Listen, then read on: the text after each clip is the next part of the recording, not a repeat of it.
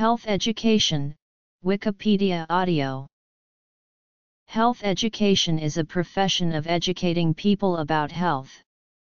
Areas within this profession encompass environmental health, physical health, social health, emotional health, intellectual health, and spiritual health, as well as sexual and reproductive health education.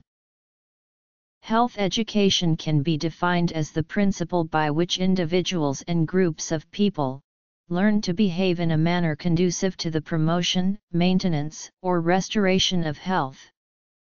However, as there are multiple definitions of health, there are also multiple definitions of health education.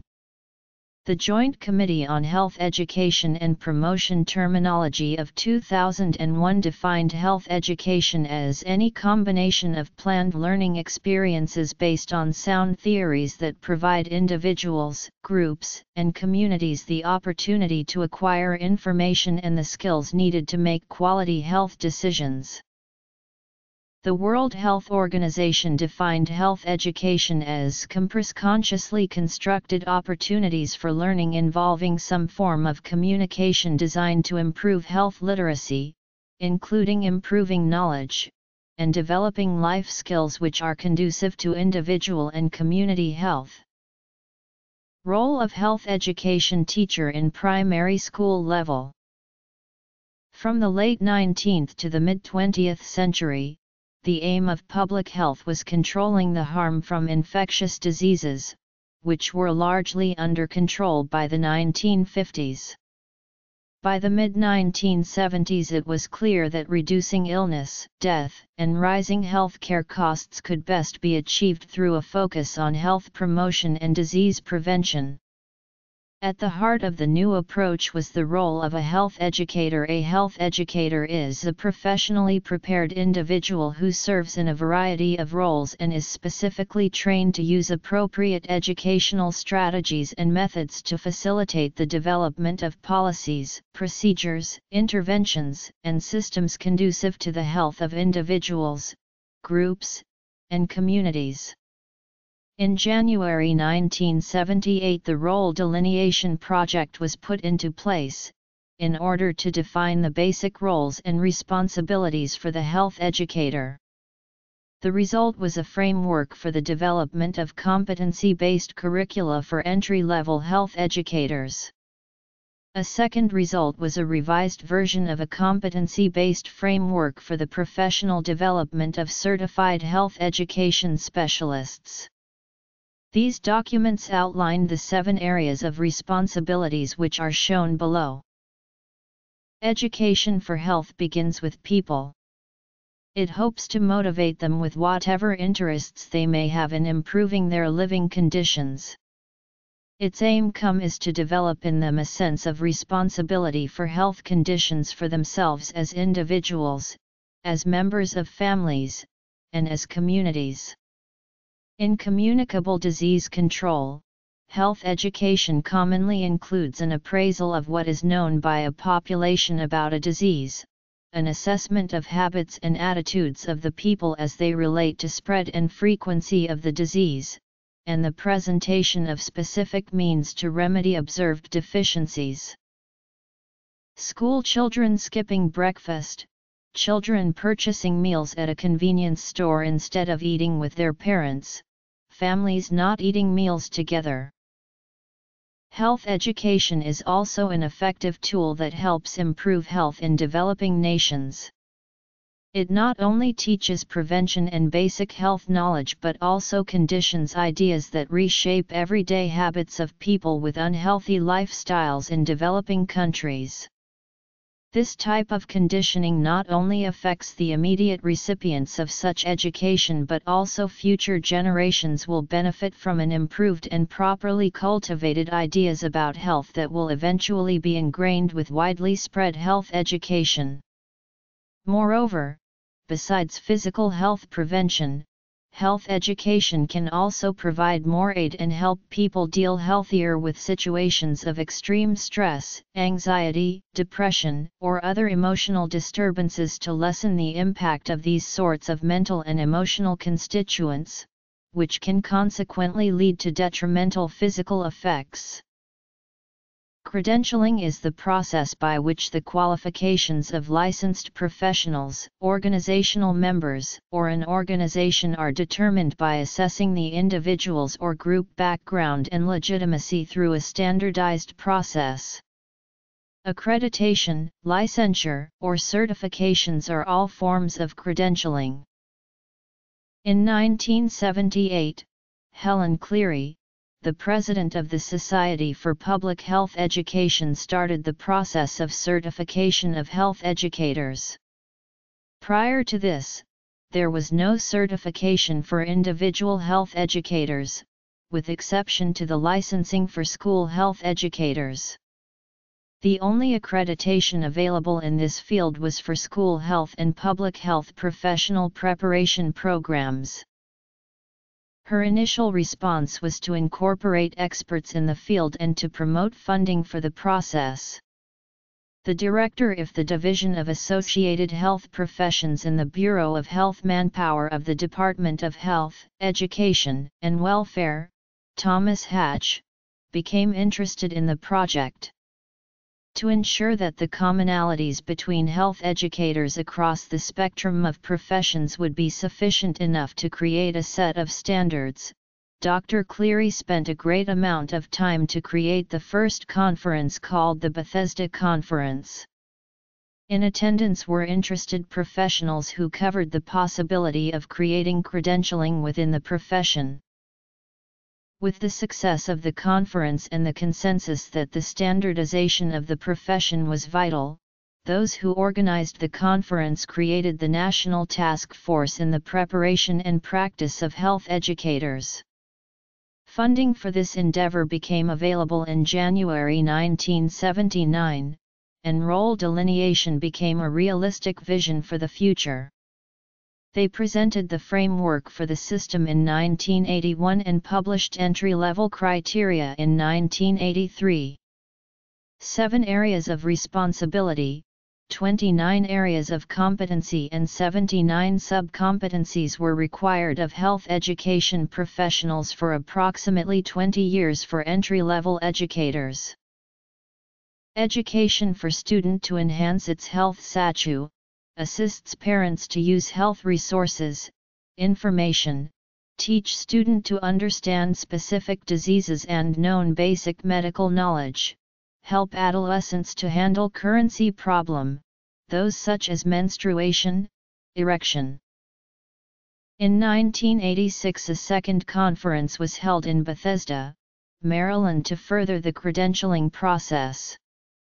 In June 1988, the National Task Force in the Preparation and Practice of Health Educators became the National Commission for Health Education Credentialing, Inc. Their mission was to improve development of the field by promoting, preparing, and certifying health education specialists. The NCHEC has three division boards that included preparation, professional development, and certification of health educator professionals. The third board, which is called the Division Board of Certification of Health Education Specialist, has the responsibility of developing and administering the CHES exam. An initial certification process allowed 1,558 individuals to be chartered into the program through a recommendation and application process. The first exam was given in 1990. In order for a candidate to sit for an exam they must have either a bachelor's, master's, or doctoral degree from an accredited institution, and an official transcript that shows a major in health education, community health education, public health education, or school health education, etc. The transcript will be accepted if it reflects 25 semester hours or 37 quarter hours in health education preparation and covers the seven responsibilities covered in the framework. Responsibility I Assessing individual and community needs for health education. In 1998 a project called the Competencies Update Project began. The purpose of the CUP project was to update entry-level requirements and to develop advanced-level competences. Through research the CUP project created the requirements for three levels, which included entry-level, advanced I and advanced II educators. Recently the Master Certified Health Education Specialist was created. The MCHES exam measures the knowledge of the advanced levels and sub-levels of the seven areas of responsibilities. The first MCHES exam was given in October 2011.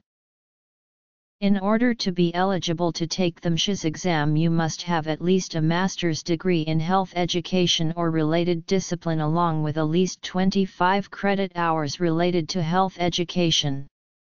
In addition, five years of documented information of practice in health education and two recommendations of past slash present supervisors must be provided. A vitae slash resume must also be submitted. The Competency Update Project, 1998 to 2004 revealed that there were higher levels of health education practitioners, which is the reasoning for the advancements for the MCHES. Many health educators felt that the current CHES credential was an entry-level exam. In the United States some 40 states require the teaching of health education. A comprehensive health education curriculum consists of planned learning experiences which will help students achieve desirable attitudes and practices related to critical health issues.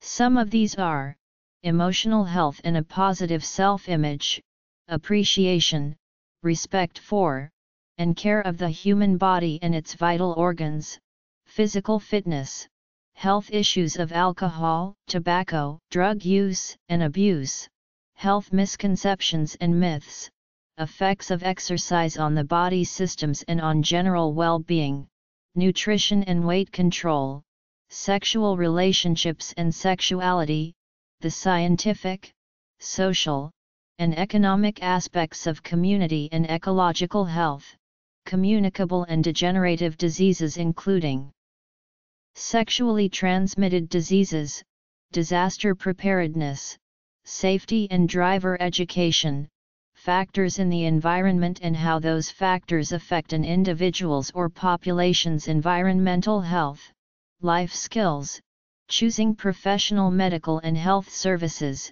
and choices of health careers. The National Center for Education Statistics share that 99% of public schools conduct some type of nutrition education. For each grade from kindergarten through 8th, 50% or more of all schools have district or state requirements for students to receive nutrition education.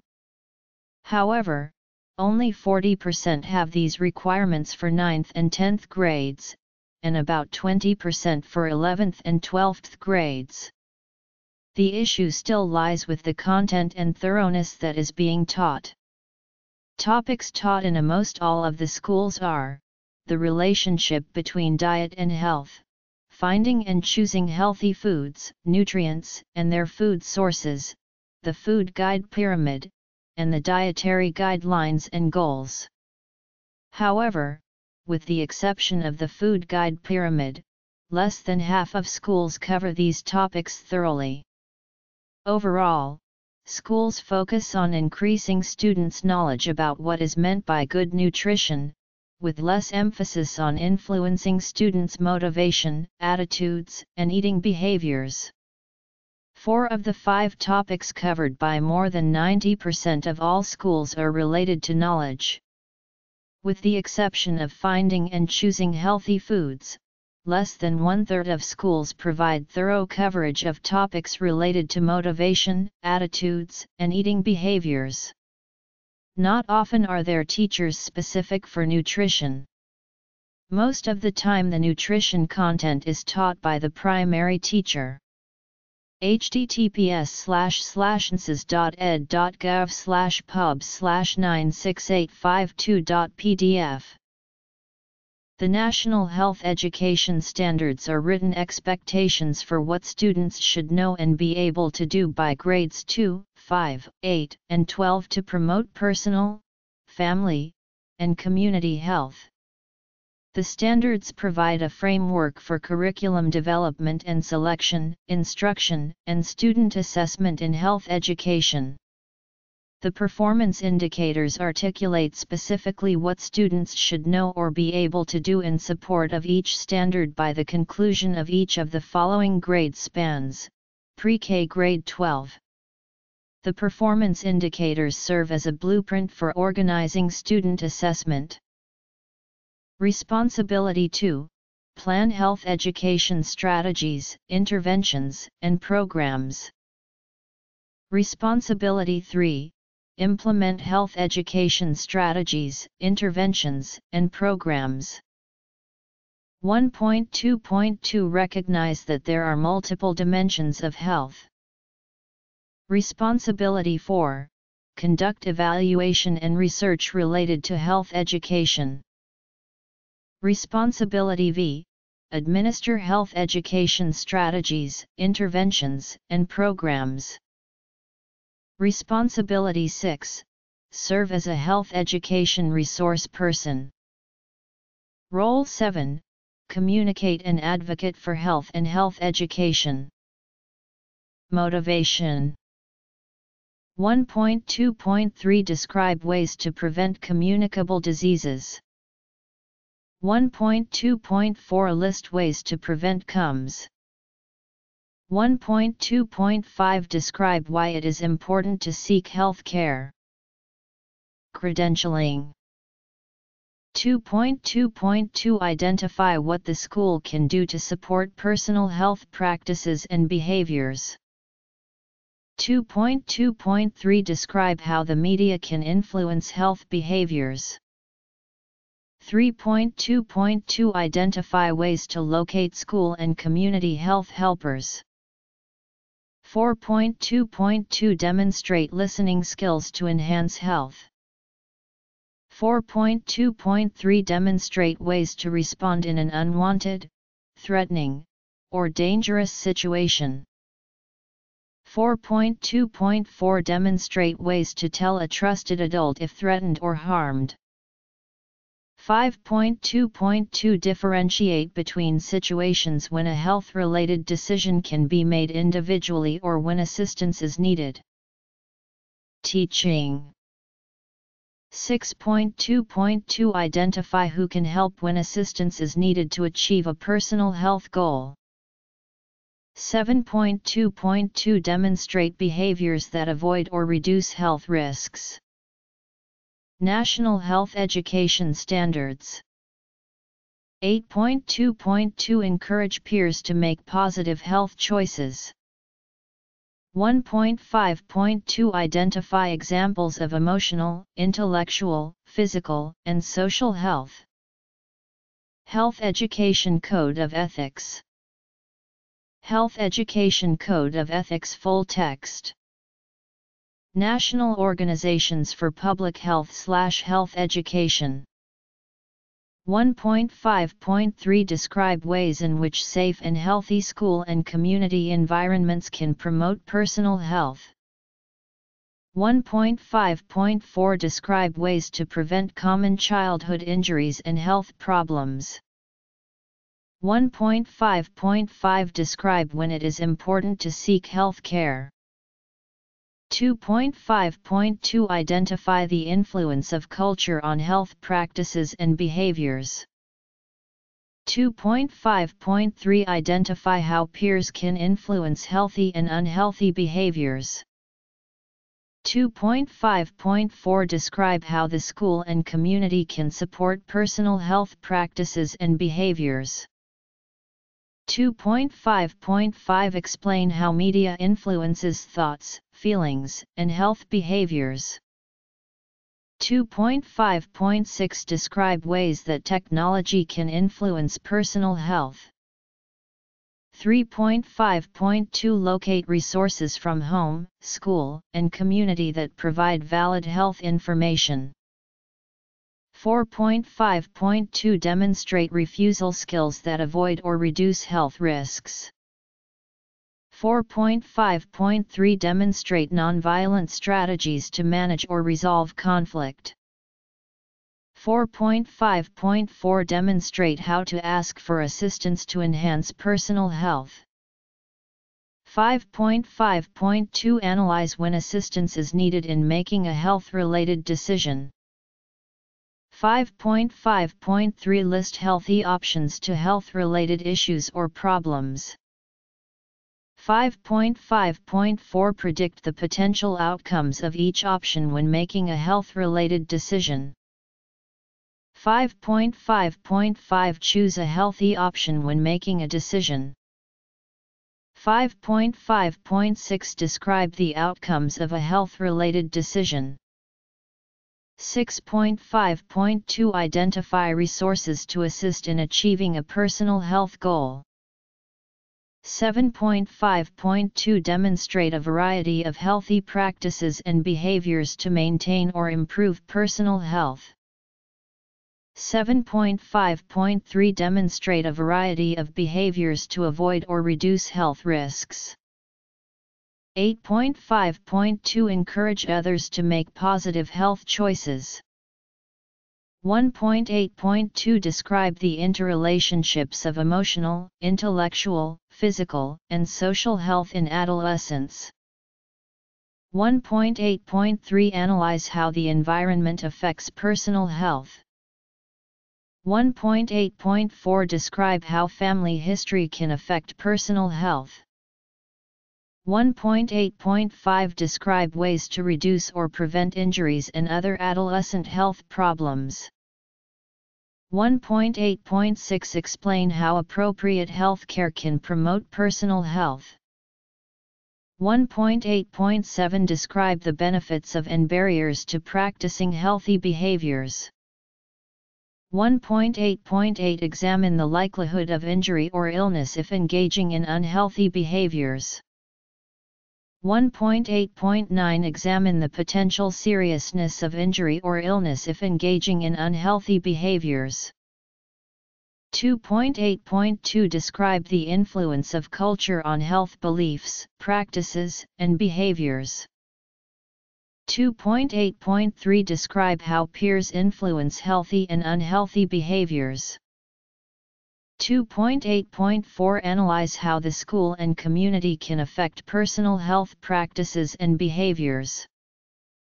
2.8.5 Analyze how messages from media influence health behaviors. 2.8.6 Analyze the influence of technology on personal and family health. 2.8.7 Explain how the perceptions of norms influence healthy and unhealthy behaviors.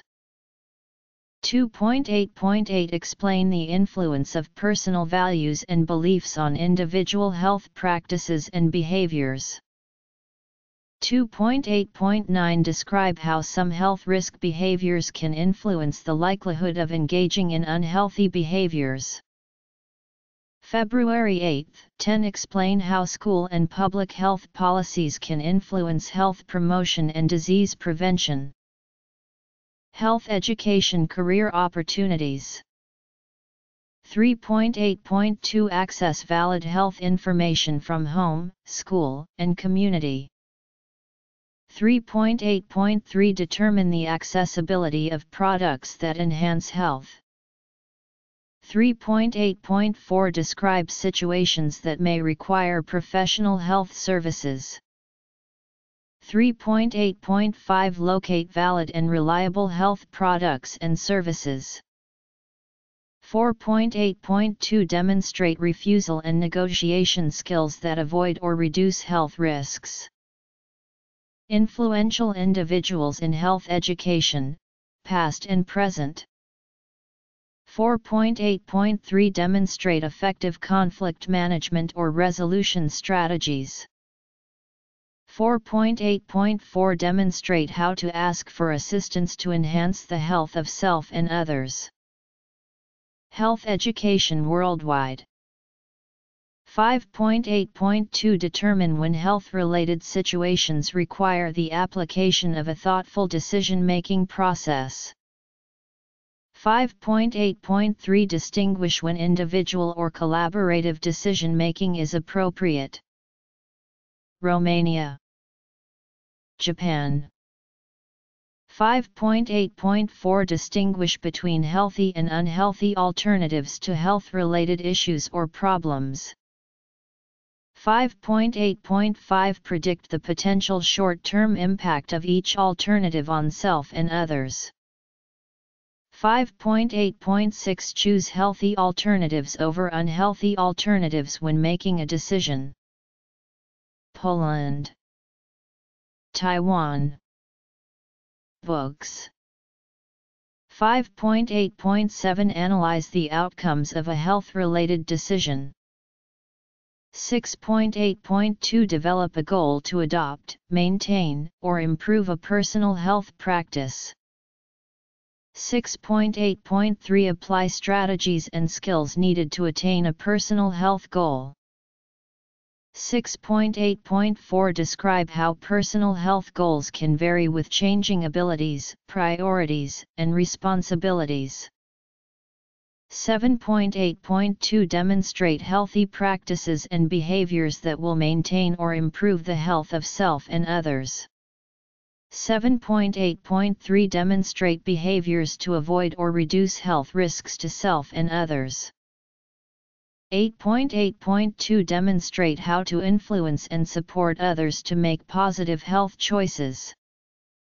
8.8.3 Work cooperatively to advocate for healthy individuals, families, and schools.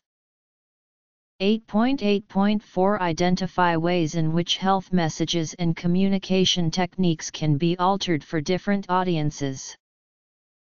1.12.2 Describe the interrelationships of emotional, intellectual, physical, and social health. 1.12.3 Analyze how environment and personal health are interrelated. 1.12.4 Analyze how genetics and family history can impact personal health. 1.12.5 Propose ways to reduce or prevent injuries and health problems. 1.12.6 Analyze the relationship between access to healthcare and health status. 1.12.7 Compare and contrast the benefits of and barriers to practicing a variety of healthy behaviors. 1.12.8 Analyze personal susceptibility to injury, illness, or death if engaging in unhealthy behaviors. 1.12.9 Analyze the potential severity of injury or illness if engaging in unhealthy behaviors. 2.12.2 Analyze how the culture supports and challenges health beliefs, practices, and behaviors. 2.12.3 Analyze how peers influence healthy and unhealthy behaviors. 2.12.4 Evaluate how the school and community can affect personal health practice and behaviors. 2.12.5 Evaluate the effect of media on personal and family health. 2.12.6 Evaluate the impact of technology on personal, family, and community health. 2.12.7 Analyze how the perceptions of norms influence healthy and unhealthy behaviors. 2.12.8 Analyze the influence of personal values and beliefs on individual health practices and behaviors. 2.12.9 Analyze how some health risk behaviors can influence the likelihood of engaging in unhealthy behaviors. February 12, 10 Analyze how public health policies and government regulations can influence health promotion and disease prevention. 3.12.2 Use resources from home, school, and community that provide valid health information. 3.12.3 Determine the accessibility of products and services that enhance health. 3.12.4 Determine when professional health services may be required. 3.12.5 Access valid and reliable health products and services. 4.12.1 Use skills for communicating effectively with family, peers, and others to enhance health. 4.12.2 Demonstrate refusal, negotiation, and collaboration skills to enhance health and avoid or reduce health risks. 4.12.3 Demonstrate strategies to prevent, manage, or resolve interpersonal conflicts without harming self or others. 4.12.4 Demonstrate how to ask for and offer assistance to enhance the health of self and others. 5.12.2 Determine the value of applying a thoughtful decision-making process in health-related situations. 5.12.3 Justify when individual or collaborative decision making is appropriate. 5.12.4 Generate alternatives to health related issues or problems. 5.12.5 Predict the potential short term and long term impact of each alternative on self and others. 5.12.6 Defend the healthy choice when making decisions. 5.12.7 Evaluate the effectiveness of health related decisions. 6.12.2 Develop a plan to attain a personal health goal that addresses strengths, needs, and risks. 6.12.3 Implement strategies and monitor progress in achieving a personal health goal. 6.12.4 Formulate an effective long-term personal health plan. 7.12.2 Demonstrate a variety of healthy practices and behaviors that will maintain or improve the health of self and others. 7.12.3 Demonstrate a variety of behaviors to avoid or reduce health risks to self and others. 8.12.2 Demonstrate how to influence and support others to make positive health choices. 8.12.3 Work cooperatively as an advocate for improving personal, family, and community health. 8.12.4 Adapt health messages and communication techniques to a specific target audience. The Health Education Code of Ethics has been a work in progress since approximately 1976, begun by the Society of Public Health Education.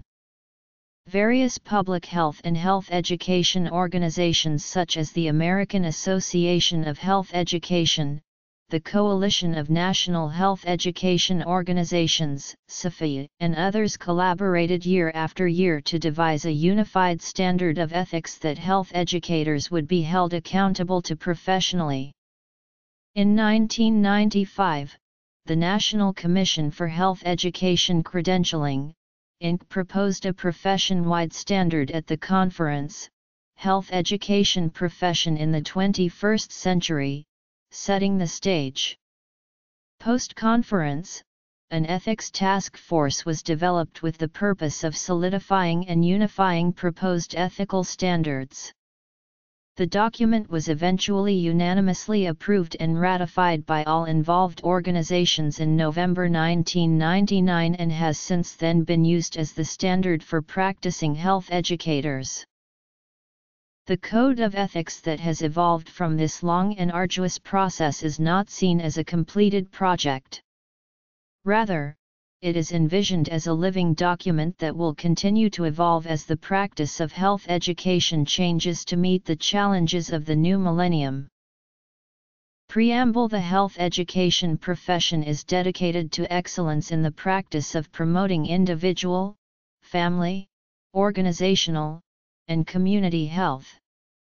The Code of Ethics provides a framework of shared values within which health education is practiced.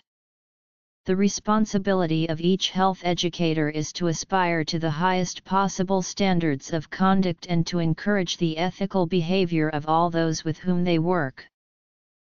Article I Responsibility to the public A health educator's ultimate responsibility is to educate people for the purpose of promoting, maintaining, and improving individual, family, and community health. When a conflict of issues arises among individuals, groups, organizations, agencies, or institutions, health educators must consider all issues and give priority to those that promote wellness and quality of living through principles of self-determination and freedom of choice for the individual. Article 2 Responsibility to the profession Health educators are responsible for their professional behavior, for the reputation of their profession, and for promoting ethical conduct among their colleagues.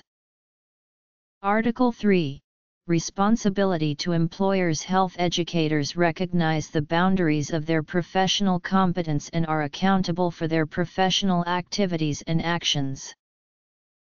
Article 4 Responsibility in the delivery of health education Health educators promote integrity in the delivery of health education. They respect the rights, dignity, confidentiality, and worth of all people by adapting strategies and methods to the needs of diverse populations and communities. Article V Responsibility in research and evaluation Health educators contribute to the health of the population and to the profession through research and evaluation activities. When planning and conducting research or evaluation, health educators do so in accordance with federal and state laws and regulations, organizational and institutional policies, and professional standards. Article 6 Responsibility in professional preparation Those involved in the preparation and training of health educators have an obligation to accord learners the same respect and treatment given other groups by providing quality education that benefits the profession and the public. All versions of the document are available on the Coalition of National Health Education's site, http colon slash slash www.cnheo.org. The National Health Education Code of Ethics is the property of the Coalition of National Health Education. American Public Health Association APHA is the main voice for public health advocacy that is the oldest organization of public health since 1872. The American Public Health Association aims to protect all Americans and their communities from preventable, serious health threats and strives to assure community-based health promotion and disease preventions. Any individual can become a member and benefit in online access and monthly printed issues of the nation's health and the American Journal of Public Health. Society for Public Health Education The mission of SOPHE is to provide global leadership to the profession of health education and health promotion and to promote the health of society through advances in health education theory and research, excellence in professional preparation and practice, and advocacy for public policies conducive to health, and the achievement of health equity for all. Membership is open to all who have an interest in health education and or work in health education in schools, medical care settings, work sites, community-based organizations, state-slash-local government, and international agencies. Founded in 1950, SOPHE publishes two indexed, peer-reviewed journals, Health Education and Behavior and Health Promotion Practice. American School Health Association The American School Health Association was founded in 1972 by a group of physicians that already belonged to the American Public Health Association. This group specializes in school-aged health specifically. Over the years it has snowballed and now includes any person that can be a part of a child's life, from dentists to counselors and school nurses. The American School Health Association mission is to protect and promote the health of children and youth by supporting coordinated school health programs as a foundation for school success. American Association of Health Education slash American Alliance for Health, Physical Education, Recreation, and Dance The AAHE slash AAHPERD is said to be the largest organization of professionals that supports physical education, which includes leisure, fitness, dance, and health promotion. That is only a few, this incorporates all that is physical movement. This organization is an alliance with five national associations and six districts and is there to provide a comprehensive and coordinated array of resources to help support practitioners to improve their skills and always be learning new things. This organization was first stated in November 1885. William Gilbert Anderson had been out of medical school for two years and was working with many other people that were in the gymnastic field. He wanted them to get together to discuss their field and this organization was created. Today AAHPERD serves 25,000 members and has its headquarters in Reston, Virginia. Eta Sigma Gamma Eta Sigma Gamma is a national health education organization founded in 1967 by three professor from Ball State University. The mission of ESG is to promote public health education by improving the standards, ideals, capability, and ethics of public health education professionals. The three key points of the organization are to teach, research, and provide service to the members of the public health professionals.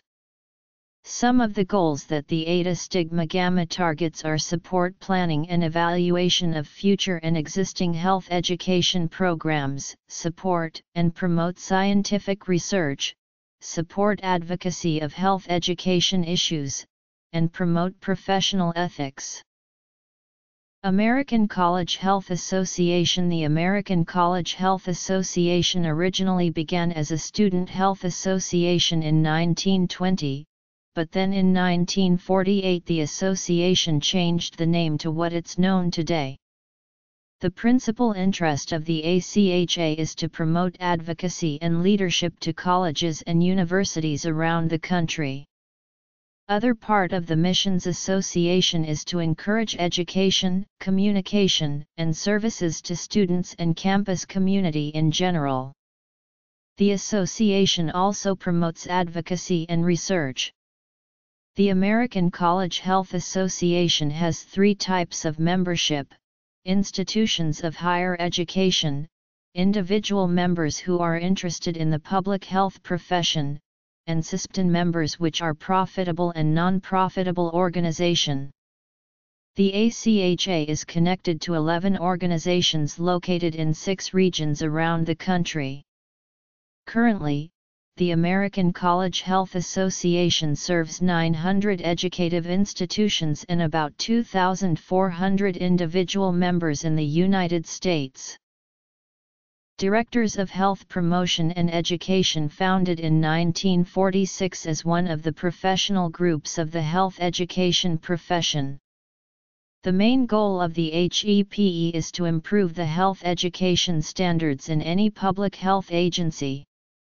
As well, build networking opportunities among all public health professionals as a media to communicate ideas for implementing health programs, and to keep accurate information about the latest health news. The DHPE also focus to increase public awareness of health education and promotion by creating and expanding methods of existing health programs that will improve the quality of health. The Directors of Health Promotion and Education is linked to the Association of State and Territorial Health Officials to work on health promotion and disease prevention. National Commission for Health Education Credentialing The National Commission for Health Education Credentialing Check is the national accrediting organization for health educators, promoting the Certified and Master Certified Health Education Specialist credential. Many government and private sector jobs require that the health educator have at least the CHES credential as a prerequisite qualification for work. NCHEC also administers the affirmation of approved continuing education to maintain these credentials. Both CHES and MCHES are required to take at least 75 continuing education contact hours every five years to be recertified.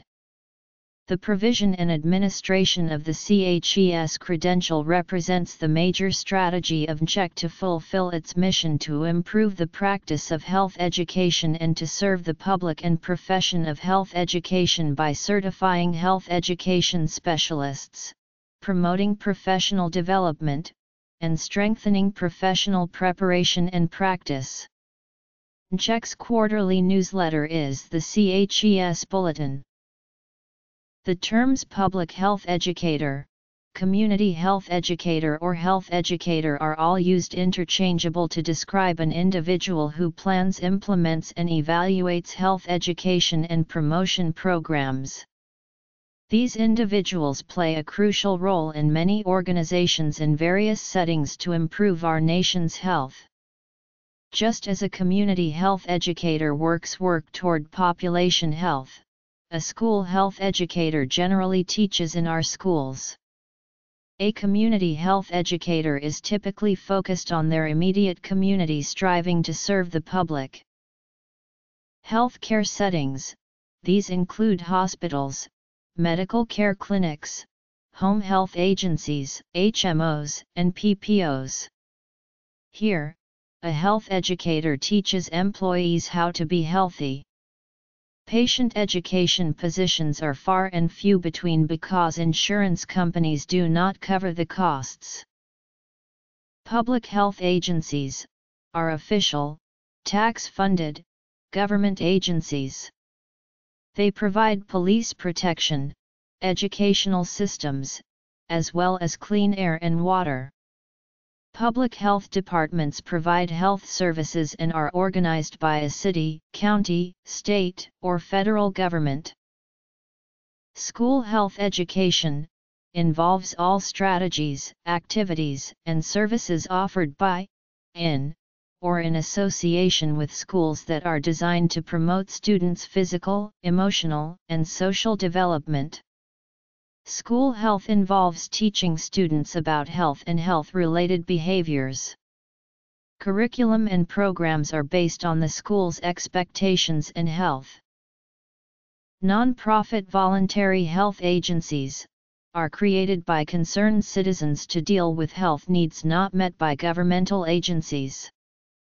Missions include public education, professional education, patient education, research, direct services, and support to or for people directly affected by a specific health or medical problem. Usually funded by such means as private donations, grants, and fundraisers. Higher education, typically two types of positions health educators hold including academic, or faculty or health educator in a student health service or wellness center. As a faculty member, the health educator typically has three major responsibilities teaching, community, and professional service, and scholarly research. As a health educator in a university health service or wellness center, the major responsibility is to plan, implement, and evaluate health promotion and education programs for program participants. Worksite health promotion is a combination of educational, organizational, and environmental activities designed to improve the health and safety of employees and their families. These worksite wellness programs offer an additional setting for health educators and allow them to reach segments of the population that are not easily reached through traditional community health programs. Some worksite health promotion activities include smoking cessation, stress management, bulletin boards, newsletters, and much more. Independent consulting and government contracting, international, national, regional, state, and local organizations contract with independent consultants for many reasons. They may be hired to assess individual and community needs for health education, plan, implement, administer and evaluate health education strategies, conduct research, serve as health education resource person, and or communicate about an advocate for health and health education. Government contractors are often behind national health education programs, government reports, public information websites and telephone lines, media campaigns, conferences, and health education materials. Dorothy Bird Nyswander Dr. Nyswander was born September 29, 1894. She earned her bachelor's and master's degree at the University of Nevada and received her doctorate in educational psychology at Berkeley. She is a founder of the School of Public Health at the University of California at Berkeley. Dr. Nyswander pursued her interest in public health at the Works Progress Administration during the Depression. She served with the Federal Works Agency contributing to the establishment of nursery schools and child care centers to accommodate young mothers working in defense plants. She set up these centers in 15 northeastern states. This did not happen quickly so she advocated all over the nation to train people to act as foster parents for the children of working women. Dr. Nyswander became the director of the City Health Center in Astoria, Queens in 1939. She spent her time as director promoting the idea of New York City keeping an eye on the health of children. They would do this by keeping records that would follow them to whatever school they might move to. She wrote Solving School Health Problems which is an analysis of the health issues in New York children. This is still used in public health education courses today. Mayhew Derryberry Dr. Derryberry was born December 25, 1902 and earned his bachelor's degree in chemistry and mathematics at the University of Tennessee. He began his career in 1926 with the American Child Health Association as the director of one of the first large-scale studies of the health status of the nation's school children. A year after his work with the American Child Health Association he earned his master's degree in education and psychology at Columbia University. He then went on to earn his doctorate and moved to the New York City Health Department as the secretary to the sanitary superintendent. He finally moved to Washington, D.C. and joined the U.S. Public Health Service as a senior public health analyst. He became chief of the Public Health Service and began assembling a team of behavioral scientists. They studied the nexus of behavior, social factors, and disease. Two scientists and Derryberry conducted the study of the role of health beliefs in explaining utilization of public health screening services. This work contributed to the development of the health belief model. This provided an important theoretical foundation for modern health education. His legacy was very important because he engaged behavioral and social scientists in the problems of public health and gave importance to the role of that health education plays on human health. Elena Sliepcevich Elena Sliepcevich was a leading figure in the development of health education both as an academic discipline and a profession. She graduated from the University of Ireland in 1939 and received her master's degree from the University of Michigan in 1949. She received her doctorate in physical education from Springfield College in 1955. After completing her schooling, Elena Sliepcevich worked at Ohio State University in 1961 as a professor of health education. There she helped direct the school health education study from 1961 to 1969, and most health education curricula used in schools today are based on the 10 conceptual areas identified by the School Health Education Study. These 10 areas of focus include community health, consumer health, environmental health, family life, mental and emotional health, injury prevention and safety, nutrition, personal health, prevention and control of disease, and drug use and abuse. Helen Agnes Cleary Helen Cleary was born March 28, 1914, at Petersburg, South Australia. She trained as a nurse at the Broken Hill and District Hospital in New South Wales. She became a general nurse in 1941, and an obstetric nurse in 1942. She joined the Royal Australian Air Force Nursing Service as a sister on November 15, 1943. Along with other RAF nurses, she would partake in evacuations throughout New Guinea and Borneo, which earned the nurses the nickname the Flying Angels, and were also known as the Glamour Girls of the Air Force. In April 1945, she was ranked number 2 Medical Air Evacuation Transport Unit, and began bringing thousands of Australian and British servicemen from prisoner of war camps after Japan had surrendered. She and other nurses cared for many patients who suffered from malnutrition and dysentery. During the Korean War, Cleary was charge sister on the RAF, where she organized medical evacuations of Australians from Korea, fought for better treatment and conditions of the critically wounded, and nursed recently exchanged prisoners of war. On August 18, 1967, Ms. Cleary was made honorary nursing sister to Queen Elizabeth II. She had been appointed an associate of the Royal Red Cross in 1960, and became a leading member in 1968 for her contributions to the training of medical staff, and for maintaining the high ideals of the nursing profession. She retired on March 28, 1969, and later died on August 26, 1987. Delbert Oberteuffer A long-time health educator, Delbert Oberteuffer definitely made his mark on the physical education and health education world. He was born in Portland, Oregon in 1902 where he remained through college, attending the University of Oregon receiving his bachelor's degree. His next step took him to the prestigious Columbia University where he obtained his Master's of Arts and Doctor of Philosophy degree.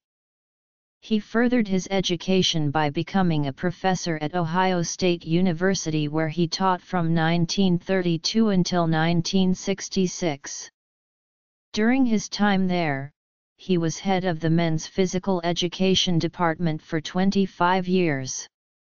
After years of hard work, he was rewarded with numerous jobs including the president of the American School Health Association and the College of Physical Education Association. He died in 1981 at the age of 79. He was survived by his wife, Catherine, and his son, Theodore K. Oberteuffer. Howard Hoyman Howard Hoyman is mainly recognized for his work in sex education and introductions of ecology concepts. He is credited for developing the original sex education program for students in grades 1 through 12. The model Hoyman created heavily influenced the thinking of many health educators.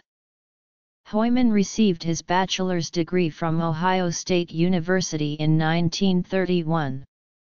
He then went on to earn his master's degree in 1932 and doctorate in 1945 from the University of Columbia.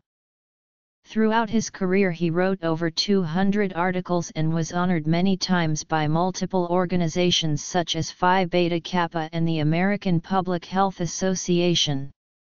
Dr. Hoyman retired in 1970 as a professor emeritus. Lloyd Kolbe Lloyd Kolbe received his B.S. from Towson University and then received his Ph.D. and Master of Education from the University of Toledo during the 1970s. Dr. Kolbe played a huge role in the development of many health programs applied to the daily life of different age groups.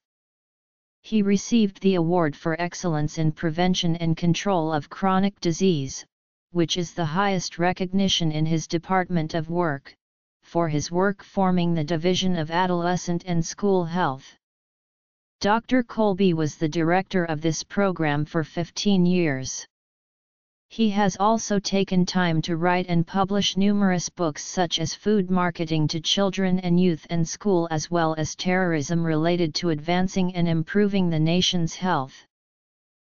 Robert Morgan Pigg University of Florida professor, Robert Morgan Pigg, started his health career in 1969 when he received his bachelor's degree in health, physical education, and recreation from Middle Tennessee State University. A year later he received his M.Ed also from Middle Tennessee University before moving on to Indiana University where he obtained his HSD in 1974 and his MPH in 1980. He held many jobs at numerous universities including Western Kentucky University, University of Georgia, Indiana University, and the University of Florida where he currently resides today.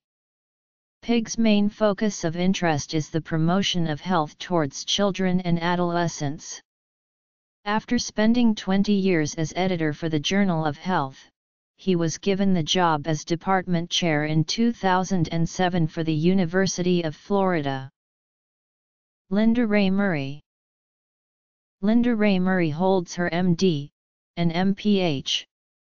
Currently she is the Chief Officer for the Ambulatory and Community Health Network.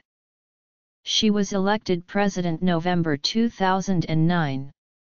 Dr. Murray has served in a number of medical settings her most recent being Medical Director of the federally funded Health Center, Winfield Moody, serving the Cabrini Green Public Housing Project in Chicago. She has also been an active member of the Board of National Organizations.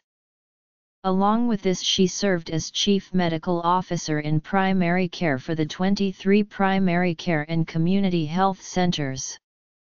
Today Murray serves as the Chief Medical Officer for the Cook County Health and Hospital System. Dr. Murray has also been a voice for social justice and healthcare as a basic human right for over 40 years.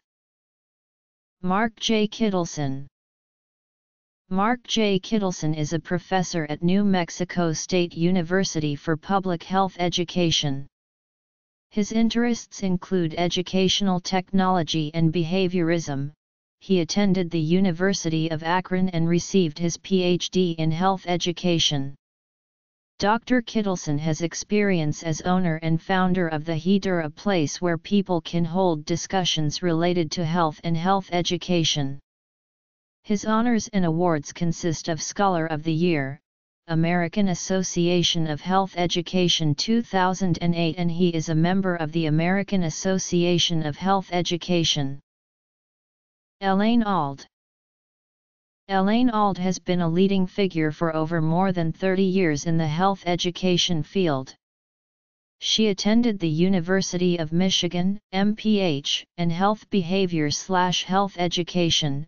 From 1976 to 1978 Elaine is the Chief Executive Officer for the Society for Public Health Education and has had many contributions in health promotion and health communications.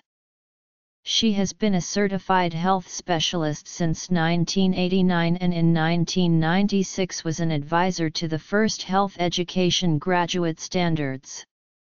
Elaine was involved with the Competency Update Project, which provided standards for the health education profession. Elaine's interest and work are related to health education credentialing and standards, workforce development, public policy, and health equity. For the last decade Elaine has been a site visitor for the Council on Education for Public Health, and also strengthened the accreditation and preparation of future health specialists, which is key to an overall healthy well-being.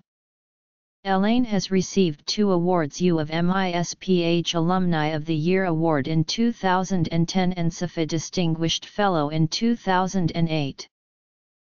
Susan Woolley Susan Woolley received her bachelor's degree from Case Western Reserve University, a master's degree in health education from the University of North Carolina at Greensboro, and a PhD in health education from Temple University. Susan is the executive director of the American School Health Association and has been a member to ASHA for 31 years.